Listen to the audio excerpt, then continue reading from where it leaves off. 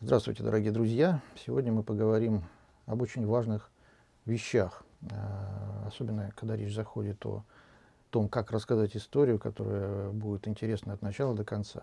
И эти важные вещи — это, собственно, и есть начало и завершение фильма. Как кино начинать так, чтобы оно нас цепляло, сразу захватывало. В общем, э, делалась э, какая-то, вот что называется, магия, да, создавалась магия Причем и речь идет ведь не только о сказке там, или о фантастике. Магия кино подразумевает любой жанр, э, когда речь заходит именно о том, чтобы вот э, мы еще только что, вот казалось бы, мы не знаем, что нас ждет впереди, да, когда мы смотрим. Вдруг раз происходит то, что называется крючок. Такой вот, как бы, как рыба заглатывает крючок на рыбалке, так вот мы, зрители, попадаемся на этот крючок, э, который нам подсовывают авторы фильма. И поэтому, конечно, начать фильм всегда интересно э, каким-то эпизодом, который не обязательно нам все раскроет сразу, да, не так, как в рекламе, допустим. Бывает, когда мы смотрим нарезку рекламы, туда часто вставляют какие-то очень зазывные, опять же, эпизоды, цепляющие наше сознание и так далее. Но, обратим внимание, в рекламу, если это умные такие, что называется, порядочные кинематографисты, они в рекламу никогда не вставляют а, самые вкусные эпизоды. Они вставляют туда интересные, интригующие, но самые вкусные они оставляют, что называется, на потом. Вот когда мы придем в кино еще раз или будем смотреть фильм, а, то вот тогда-то во всей полноте раскроется история. Но начало действительно должно нас э, захватывать. И вот я, выбирая какую бы цитату взять для того, чтобы обозначить вот нашу тему разговора о началах, да, о началах фильмов, я вспомнил э, такие знаменитые слова Альфреда Хичкока э, о том, что фильм должен начинаться с извержения вулкана, а дальше действие должно идти по нарастающей. Потом я выяснил, э, что это слова, возможно, не Хичкок сказал, или не только Хичкок говорил, но это не так важно. Это то, что называется кинематографический фольклор. А может это звучать и не только как извержение вулкана, а, допустим, э, фильм должен начинаться с э, землетрясения. Землетрясение, и опять-таки дальше действие должно идти по нарастающей. Э, почему? Потому что, конечно, речь ведь идет не о фильмах катастроф, как это шутливо так отметил Хичкок. Он имел в виду, что под извержением вулкана, под землетрясением, он подразумевал какую-то сцену, сцену нас умеющую захватить наше внимание.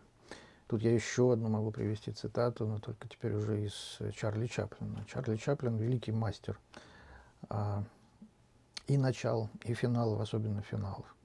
И вот он очень просто обозначал то, как должен начинаться фильм, может начинаться экранная история. Он говорил, что а, фильм должен а, очень просто, не должен, а может просто начинаться. То есть человек вышел из дома, э, пошел по тротуару, а потом пошел по канату.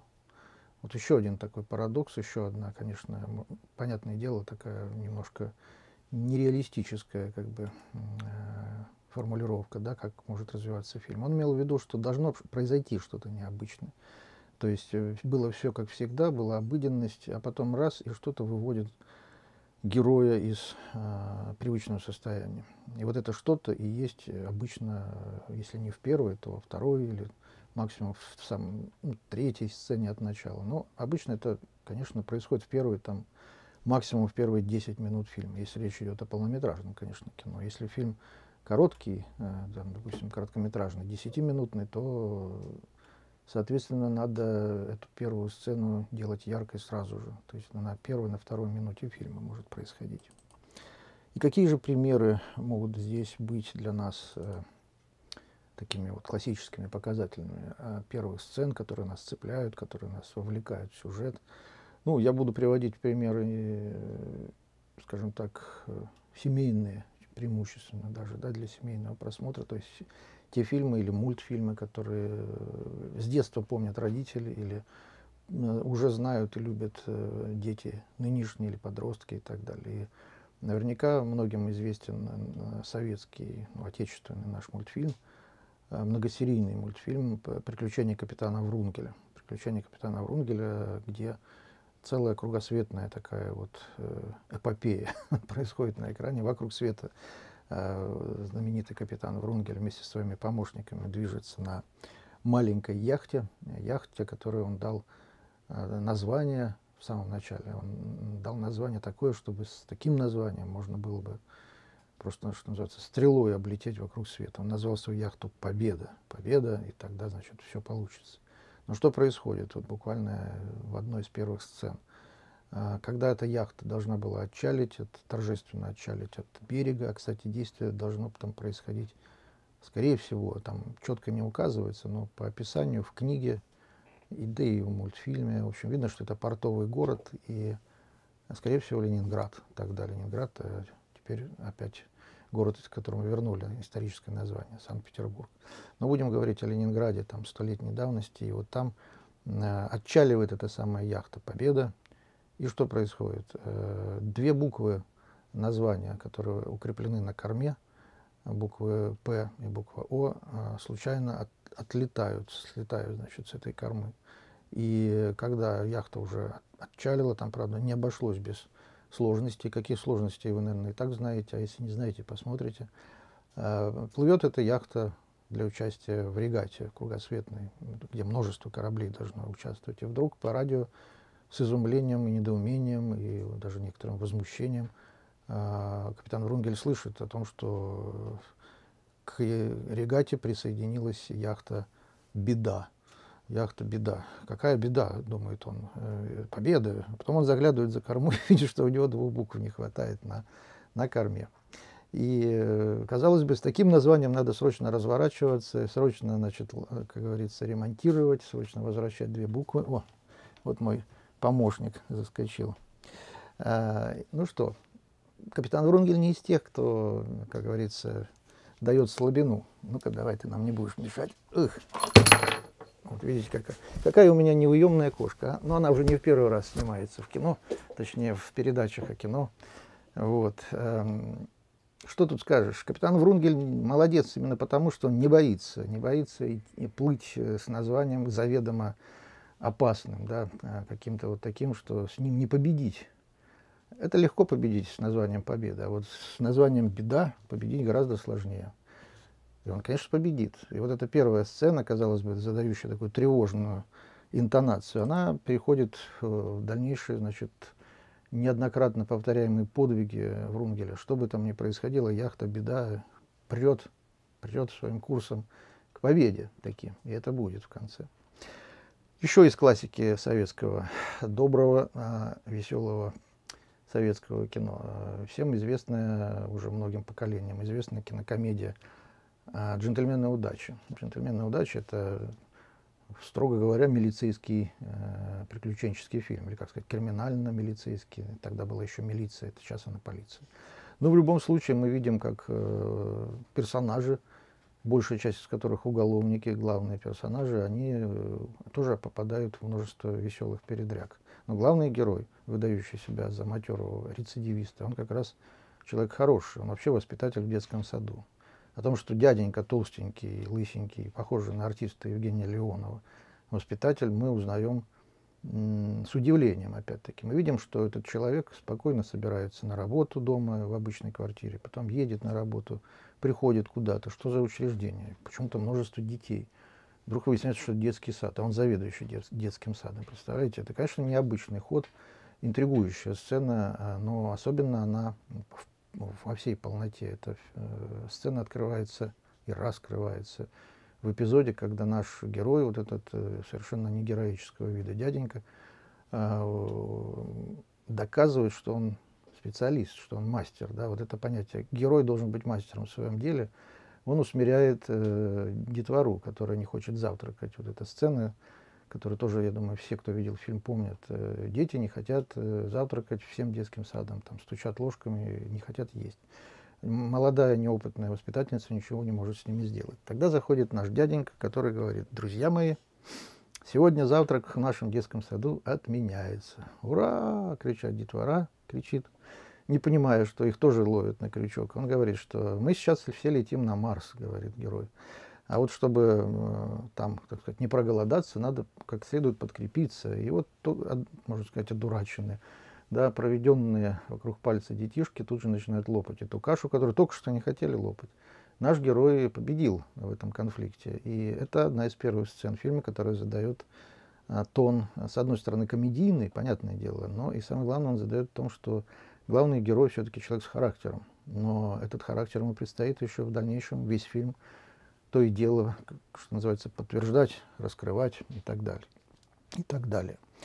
А, ну и, конечно, можно приводить примеры не только из отечественного кино, как я уже сказал, да, старого, доброго, веселого. Есть и примеры зарубежные, тоже достаточно всем известные. Вот, например, вот в этом году вышел Джеймс Бонд очередной.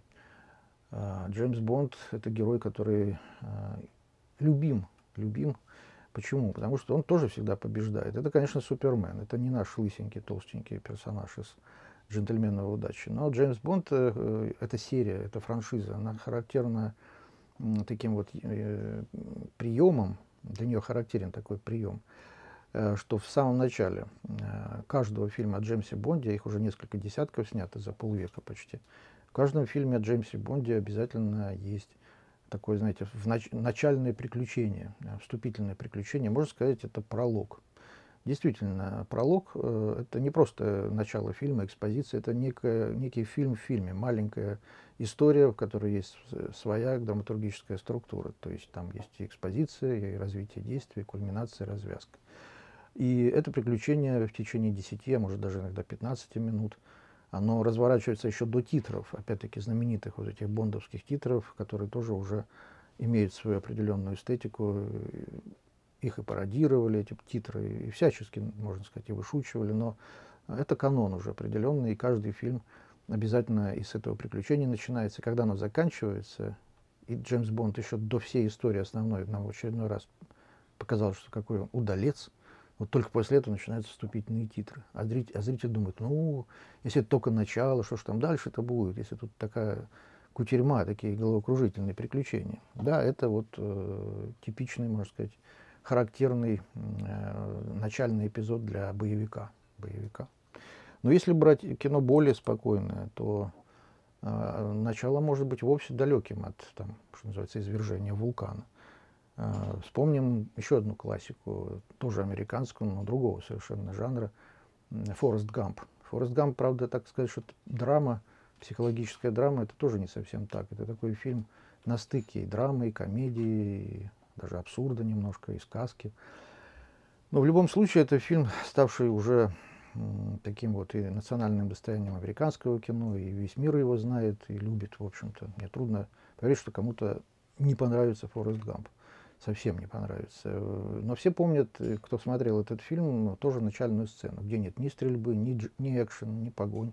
А просто мы видим э, скромно одетого, такого немножко недотепистого мужчину, э, который сидит на лавочке где-то в сквере и обращается прямо к зрителю. Ну, кажется, что он к зрителю. На самом деле он к прохожим обращается, который мимо проходит, и он говорит вот такие знаменитые слова. «Здравствуйте, меня зовут Форест, Форест Гамп хотите конфету? И вот эта конфета, она потом не раз значит, появляется. Новые, новые конфеты. В течение фильма, те, кто смотрел, знают, э, он просто... Весь фильм так и просидит на этой скамейке, но будут бесконечные такие развернутые флешбеки его жизни рассказываться, и он этими конфетами угощает э, случайно встретившихся людей. Вот такой вот прием, который действительно может быть неспешным, простым, но тоже цепляющим нас и запоминающимся, самое главное. Главное, что нужно в кино, это чтобы мы запоминали, но, конечно, желательно запоминали по-хорошему, да, не просто, чтобы потом смотреть, ой, какая противная там сцена была, да, и зачем я это смотрел. Наоборот, в кино нам интересно вспоминать то, что вкусно, ярко, позитивно, не побоюсь этого слова.